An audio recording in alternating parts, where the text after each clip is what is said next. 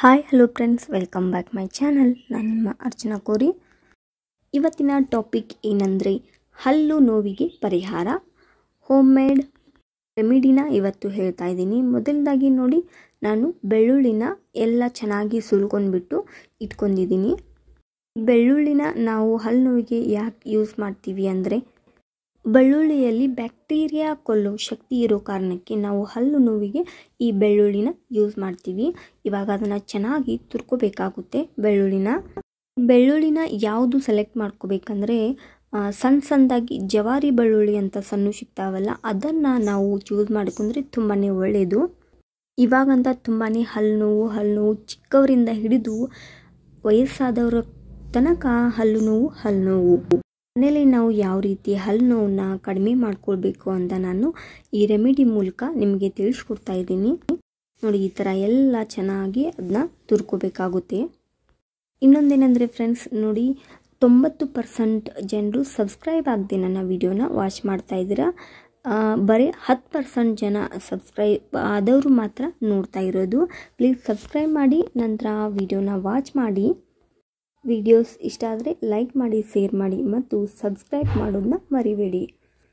ಈ ಬೆಳ್ಳುಳ್ಳಿನ ಸಂದಾಗಿ ನಾವು ಜಜ್ ಇಟ್ಕೊಂಡ್ರೂ ಬರುತ್ತೆ. ನಾನು ತುರ್ದಿಟ್ಕೊಳ್ತಾ ಇದ್ದೀನಿ. ನೋಡಿ, ಈ ಥರ ನಾನು ಒಂದು ಒಂದು ಬೆಳ್ಳುಳ್ಳಿ ಪೂರ್ತಿನ ತೊಗೊಂಡಿದ್ದೀನಿ. ಇಷ್ಟಾಗಿದೆ ಈ ಪೇಸ್ಟು. ಇದನ್ನು ನಾವು ಏನು ಮಾಡೋದು ಅಂದರೆ ಇವಾಗ ಒಂದು ಬಟ್ಲಲ್ಲಿ ಹಾಕಿ ಇಟ್ಕೊಳ್ಳೋಣ. ಈ ಬೆಳ್ಳುಳ್ಳಿನ ಜೊತೆಗೆ ಇನ್ನೊಂದು ಏನು ಸೇರಿಸ್ಬೇಕಂದ್ರೆ ನಮ್ಮ ಅಡುಗೆ ಮನೆಯಲ್ಲೇ ಇರೋದು ಇನ್ನೊಂದು ಸಾಮಾನ್ಯ ಅಂದರೆ ಅರಿಶಿಣ ಪುಡಿ.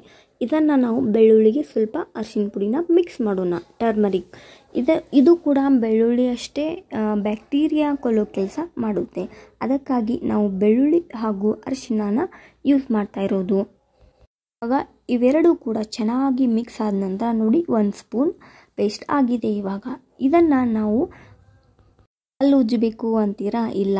ನೋಡಿ ನಾನೇನು ಹೇಳ್ತಾ ಇದ್ದೀನಿ ಅಂದರೆ ಒಂದು ಕಾಟನಲ್ಲಿ ಈ ಪೇಸ್ಟ್ನ ಅದರೊಳಗೆ ಹಾಕಿಬಿಟ್ಟು ಸ್ವಲ್ಪ ಅದನ್ನೆಲ್ಲ ಒಳಗೆ ಮುಚ್ಚಿಬಿಟ್ಟು ನಿಮಗೆ ಯಾವುದು ಹಲ್ಲು ನೋಯುತ್ತೋ ಆ ಹಲ್ಲು ಇಟ್ಕೋಬೇಕು. ಒಂದು ಅರ್ಧ ಗಂಟೆವರೆಗೆ ಈ ಕಾಟನ್ನಲ್ಲಿ ಹಾಕಿರೋ ಪೇಸ್ಟ್ನ ಹಾಗೆ ಇಟ್ಕೊಂಡ್ರೆ ನಿಮ್ಮ ಹಲ್ಲು ನೋವು ಕಡಿಮೆ ಆಗುತ್ತೆ. ನೋಡಿ, ಮನೆಯಲ್ಲೇ ಎಷ್ಟು ಈಸಿಯಾಗಿ ನಮ್ಮ ಹಲ್ಲು ನೋವಿಗೆ ಪರಿಹಾರನ ಮಾಡ್ಕೋಬೋದು ಅಂತ ತಿಳ್ಕೊಂಡ್ರಲ್ಲ? ವಿಡಿಯೋ ಇಷ್ಟ ಆಗಿದ್ದರೆ ಲೈಕ್ ಮಾಡಿ, ಶೇರ್ ಮಾಡಿ ಮತ್ತು ಕಮೆಂಟ್ ಮಾಡಿ. Thank you for watching keep support